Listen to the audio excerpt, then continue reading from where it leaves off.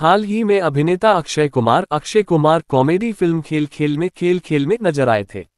लेकिन उनकी ये मूवी बॉक्स ऑफ़िस पर कुछ खास कमाल नहीं कर पाए। अब एक्टर बहुत जल्द एक हॉरर कॉमेडी फ़िल्म लेकर आ रहे हैं। इस फ़िल्म के टाइटल की अनाउंसमेंट उन्होंने अपने जन्मदिन के मौके पर की। इसका एक मोशन पोस्टर जारी किया गया। एंटरटेनमेंट डेस्क नई दिल्ली।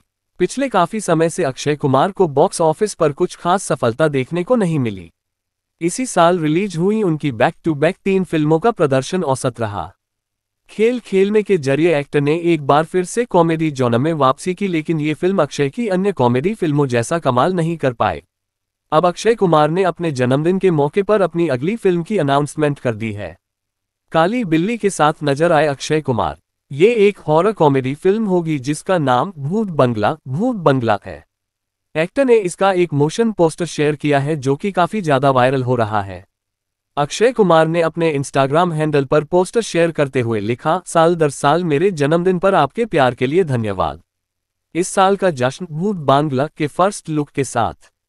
मैं चौदह साल बाद प्रियदर्शन के साथ फिर से जुड़ने को लेकर बेहद उत्साहित हूँ। इस ड्रीम कोलेबोरेशन को काफ़ी समय हो गया है।